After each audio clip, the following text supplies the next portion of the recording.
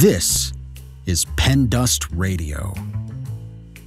Welcome, all you literati, you lovers of words and tales, you who need a break in your hurried, harried lives. We have a salve for your soul with stories imaginative and original. Short stories, riveting fiction, and wildly creative nonfiction. PenDust Radio. Definitely not the same old story. Please visit us at pendustradio.com. This podcast is a production of Rivercliff Books and Media. We publish literary fiction and creative nonfiction. Learn more at rivercliffbooks.com.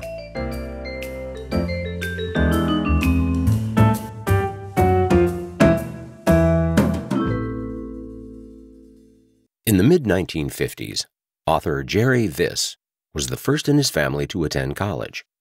It wasn't the college of his choice, but the only possibility presented to him Washington Missionary College, a strict Adventist school just north of Washington, D.C. As he departed for WMC, Jerry's uncle, on the sly, gave him this insightful advice. To become your own person, you need to learn how to think for yourself, not what others want you to think. In this memoir, Jerry intuitively follows his uncle's advice and makes friends with some unusual characters. Jerry Vis spent the earliest years of his life in Paterson, New Jersey, where he was born in 1939 into a blue collar family struggling to overcome the lingering effects of the Great Depression. He has an MFA in fine art and taught for many years in public school and college.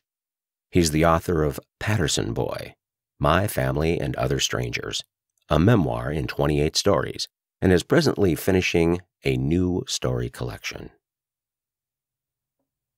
Bob and the Beatniks, written by Jerry Vis, read by Terry Ray. I returned to college in the fall, a more confused young man than ever. Really, how could that be? I started this summer feeling as though I was wing walking on a rolling stunt plane. Then, for better or worse, I met Don, who was interesting, so that was mostly better. Then I discovered Ayn Rand's writing, which made sense yet seemed too strident. Because of Don's insistence, I went to strip clubs, which I really didn't like, but that left me wide open for ridicule. Now I felt as though I was wing walking with a sack of rocks balanced on my head. Why couldn't I be normal like my friend Doug? Comfortable in my own skin. Doug and I had gone to Shenandoah Valley Academy together, and we graduated the same year. SVA was a strict Seventh day Adventist boarding school, and now here we were at Washington Missionary College, another strict Adventist school. I'm not sure how we decided to room together in college. We weren't particularly close in high school, he was easygoing, but too much of a straight arrow for me. I was always on the lookout for something less, well, presentable. Doug was the epitome of organized. For instance, when removing his clothes at night, he neatly arranged the contents of his pockets on the top of his dresser, hung his belt on a hook he had installed in the closet, and lined up the pant seams to smooth out the legs before placing them on a hanger. He even wore pajamas, I slept in the buff. And there's more. He actually changed his bed sheets weekly, changed his underwear and socks daily, polished his shoes bi-weekly with religious zeal, and flossed twice a day. Brutally punctual, he never skipped a class or a religious service. Doug was habitually cheerful, thoughtful, courteous, and well groomed, all of which made me feel uncomfortable and apprehensive. I assumed the opposite of me is what he probably would have preferred in a roommate, though he never said so. I'm sure, in his mind, we were good friends.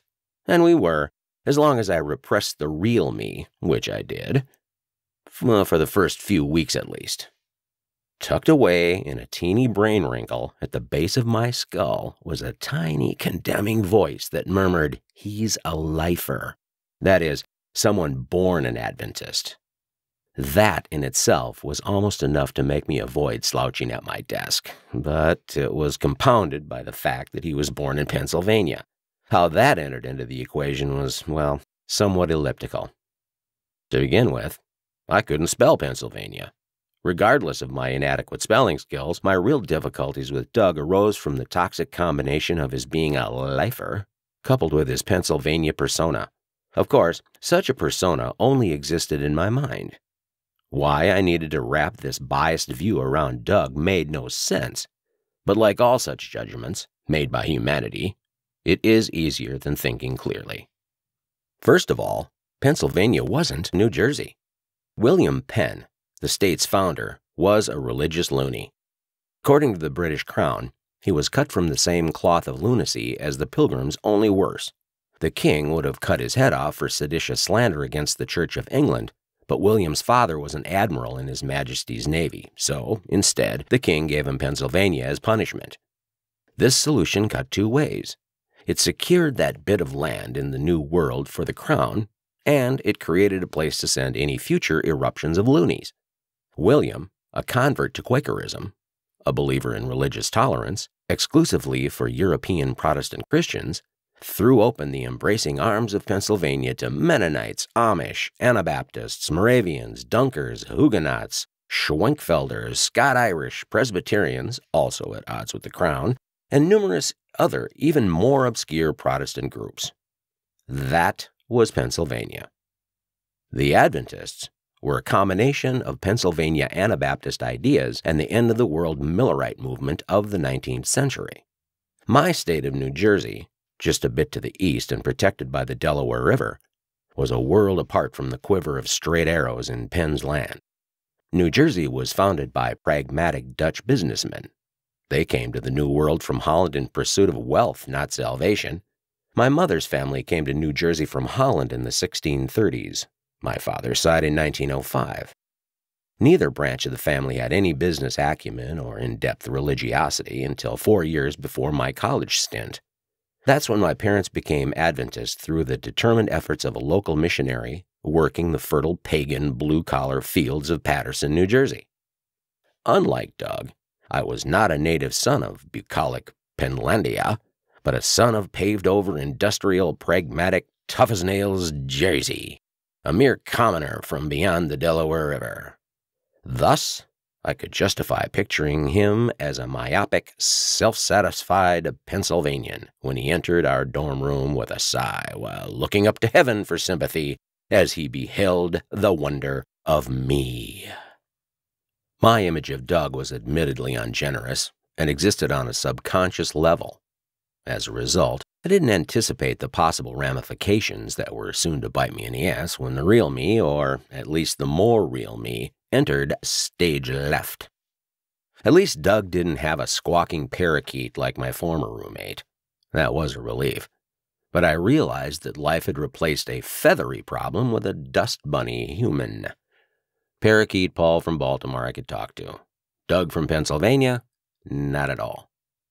I needed someone less presentable to associate with. This was a severe challenge in an institution that seemingly excluded no one, but then spared no effort to eradicate any nonconformist tendencies. I should have understood this after four years at a religious high school. Instead, I seesawed unsuccessfully between the demands of religious constraints and my desire for personal expression. I lived by the rules in public and dodged them internally. My understanding of what did and didn't make sense was becoming exponentially confused. By choice, I had no job. It was a small rebellion, and the first sign that my tenure at this school was doomed. My father wanted me to help offset costs at this Adventist college, the only one he would pay for. I had assured him that I would do so. Most students at the school had jobs, but working for 50 cents an hour for the school was insulting, which I pointed out to my roommate and anyone else who would have the nerve to tell me that my attitude was uncooperative. And I would add, as my leftist uncle would have explained, the school's work policy exploited the young by paying less than fair compensation, which denied a local family man a decent job. The few times I defended myself with this argument resulted in pained expressions and head shaking. Instead of working for 50 cents an hour, I opted to spend the afternoon work periods in my room, bored and depressed. The room, a major contributing factor to my depression, was an indifferent institutional color. It had bare, worn wood floors, scarred but indestructible furniture, and a tiny south facing grimy window that did nothing to drive away the rampant dreariness. It was barely fit to sleep in. I made the grave error of complaining to Doug, who had the nerve to point out that my dilemma was self inflicted. I had to admit, though grudgingly, that he was right. Boredom is always due to your own laziness. This situation called for a creative effort. I should have had a job. That would have eaten up most of those depressing afternoon hours. Instead, I made the creative decision to leave my door open on the off chance that a unique and interesting person wandering down the hall would stop in and distract me from my self inflicted boredom. At the very least, leaving the door open seemed to dilute the compressed heaviness of the room. I imagined the room's yellow air oozing out along the floor into the hall, replaced by crisp, clean air through the top half of the doorway. Delusional, perhaps, but it helped. The window would have done a better job, but it was painted shut. I had just finagled a swap. I traded my old Brownie box camera for a small portable record player that needed a new electric cord. Possession of a record player was considered marginally okay with the institution, uh, I mean college, as long as you played spiritually uplifting music. Hymns only, according to the men's dean. I stretched his playlist to include somewhat suspect classical music. I played the last movement of Beethoven's Ninth with the door wide open, as loud as the player would go, while loudly eyeing along. Oh my God! A crisp, penetrating voice exclaimed from the doorway. I never expected to hear that in this hallway. Hi, I'm Robert Ramelli. Thank you, thank you, thank you. A master of non sequiturs, he added, Do you like poetry too? He walked into the room, sat down beside me on the bed, and began massaging my shoulders. Well, you do look tense, he volunteered in response to my puzzled look. I lied and said, Not at all, I'm fine. I leapt up and got my dog eared copy of Walt Whitman's Leaves of Grass from my debris covered desk. He threw up his hands and glanced at the book as if it were covered with flies. Oh, Lord, no. I mean Dante Gabriel Rossetti. Isn't life amazing? As soon as I determined that my roommate wasn't a unique soul, I met someone who was a bit too unique. He was effeminate, possibly homosexual, though it didn't matter to me. He was a blessed relief, and I liked him. He was as tall and gaunt as an El Greco figure, and he appeared and disappeared like a specter most afternoons. Incomprehensibly, he too was a lifer. He was from somewhere in the South, which immediately gained my respect for his apparent survival skills. My own sojourn in Virginia, where I attended the Adventist high school, had left me somewhat scarred. I was known as a rude Yankee from irredeemably sinful New York City, even though I repeatedly pointed out that I was from New Jersey. Among Robert's multiple talents was a profound inability to be silent. He was a walking, unstoppable monologue of emotions, cultural artifacts, and unvarnished insights.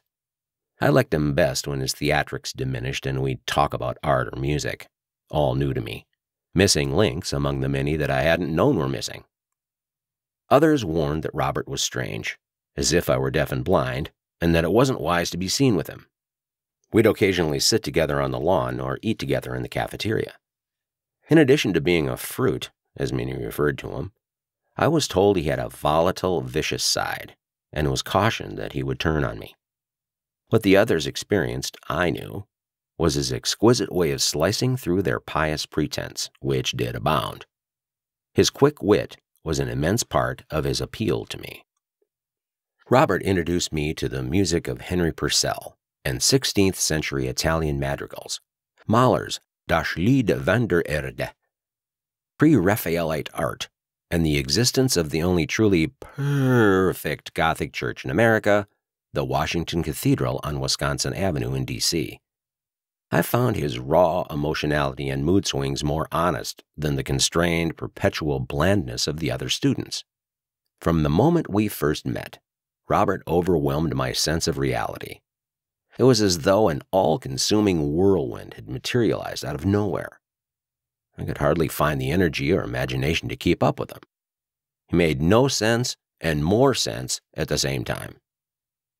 One day, after he left, and I sank back into the aura of my imprisoning room, I daydreamed that he was in a lineup against a wall with several other students. Which one of these are guilty of unacceptable behavior? came a deep voice of authority. I realized intuitively that this showy, frantic energy was a cover for loneliness. Of course. But how could he not be lonely in this narrow world of right and wrong? He was like a blaring siren, a bank of bright, blinding lights. One afternoon, my pious roommate, Doug, came back earlier than usual. He wanted to know what Robert was doing in our room. Was I gay? Did he try anything with me? He told me he didn't want him in the room again. I said nothing. Not because I didn't have any answers handy, but because I knew the answers would make no difference. Initially, after Robert's first visit, I considered keeping my door shut against him to avoid such questions, but I didn't. I trusted my intuitive side. In the heat of my roommate's demands, I chose Robert over Doug. It was simple. I had already come to the realization that Doug had nothing to offer. It felt like I had come home to myself, to trust my intuition, and not an arbitrary, rigid cast of mind. My decision about Robert made me feel whole and solid. I never tried to understand why. It was something remote, a vestigial remnant from my childhood, a sort of rusted internal barometer. Back then, if I didn't feel whole when I made a decision, it wasn't right. After Robert's first visit, a voice from the teeny wrinkle in my brain scolded me. You can't go through life like this. You may as well throw yourself out of an airplane without a parachute. That's right. I answered the wrinkle. It's like throwing myself out of an airplane. But I might miss something. I might discover that I've got wings. And it's time to learn to fly. Arguing with myself was also a remnant of my childhood, the result of being an only child. I was learning to trust my own choices, to trust my intuition, and to think sideways across the proscribed columns of that which was deemed acceptable. That's what made Robert's visits so appealing. My roommate be damned. The door would stay open to anyone curious enough to come in. One afternoon, the realization struck me that it wasn't my open door alone that drew Robert into my room. It was the music. It was the kind of music I played. If I varied the music, I might lure in other sorts. I avoided Ersatz religious recordings for obvious reasons. Nor did I play rock and roll. In the last few years, I had, in small increments, gravitated away from pop music to classical and then to jazz. I began listening to people like Dave Brubeck, Thelonious Monk, the Lambert, Hendricks, and Ross trio, Django Reinhardt, and MJQ, the modern jazz quartet. I put Brubeck's Time Out album on and left the door open. Not too loud. I didn't want the assistant men's dean to hear the illegal strains of satanic music from his office on the floor below. I was lying on my bed, lost in the intricate 5 4 rhythms, when I sensed someone at the door. Cool stuff, man. He was dressed in a trench coat, often his only bit of clothing, a slouch hat, sneakers, and no socks. You're Jerry. It was posed not as a question, but a point of confirmation for my benefit. All right if I come in. With a subtle Pied Piper smirk, I nodded yes. What's your name? I asked. Bill Tice, he said. He climbed onto my roommate's immaculate bed and sat cross legged with his unpolished, dirty shoes on the smooth coverlet. Watch the shoes, I said. Shush! Don't cover up the cool sounds, man. Call me Tice. Uh, that's my roommate's bed. He ignored me. I had the pagan thought that the fates had brought Tice to my door to teach me about being cool. He was a beatnik, or as close as anyone dared to be at WMC. Tice was another book carrier. Robert Romelli carried Rossetti poems. I carried Leaves of Grass. and Tice carried Jack Kerouac's On the Road. Tice seldom spoke. Speaking wasn't cool. Emoting vibes was. If you had to talk, you weren't in the right groove. If Tice really liked something, he would nod, groan, and snap his fingers in appreciation, his imitated version of irrepressible beatnik joy. When he did speak, he mumbled inaudibly. There was a permanent, sinister squint to his face, which was meant to hold ordinary mortals at bay. It certainly kept my roommate at bay. Murphy came through the door one day when Tice and I were in thrall of emoting. Murphy was from Baltimore. He roomed diagonally across the hall with a guy named Hoyt. They were known as Morph and Hooter. Morph was a studied cool like Tice. Hooter, I learned, was innately cool from birth. He was unpredictable and mysteriously aloof. One afternoon, I knocked on their door looking for Morph. I could hear someone moving around inside. I knocked again. Silence. And again, I knocked.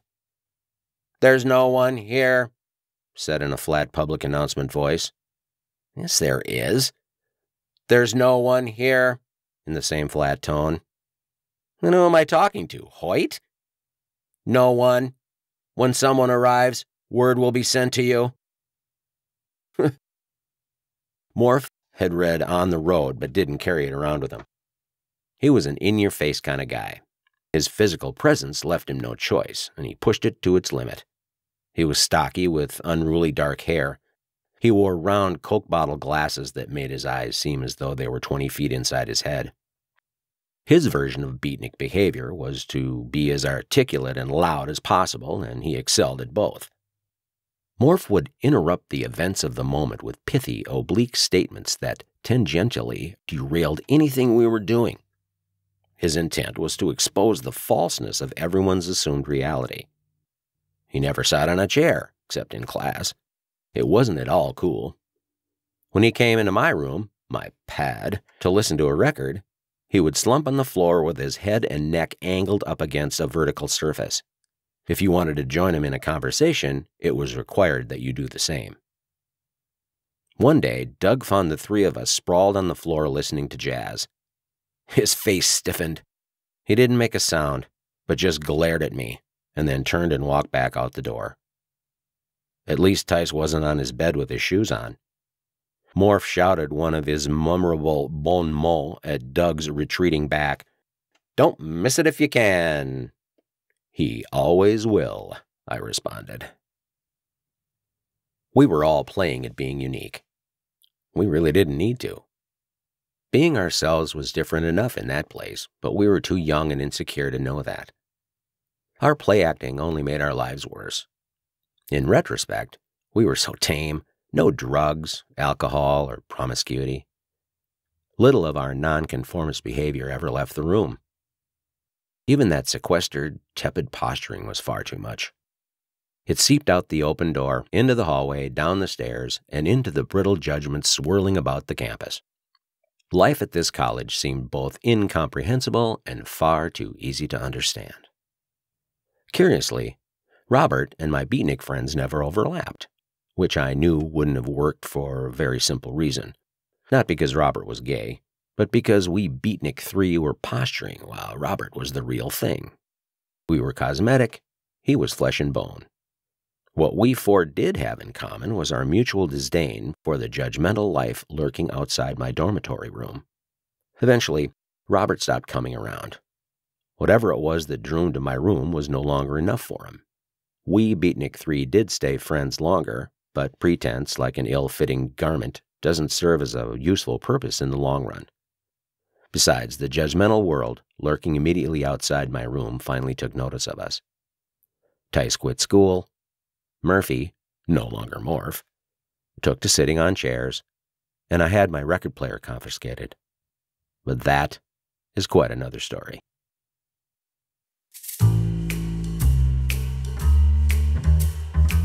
Thanks for listening to this episode of PenDust Radio. For more information or to submit your writing to the podcast, please visit pendustradio.com. This podcast is a production of Rivercliff Books and Media. Learn more at rivercliffbooks.com.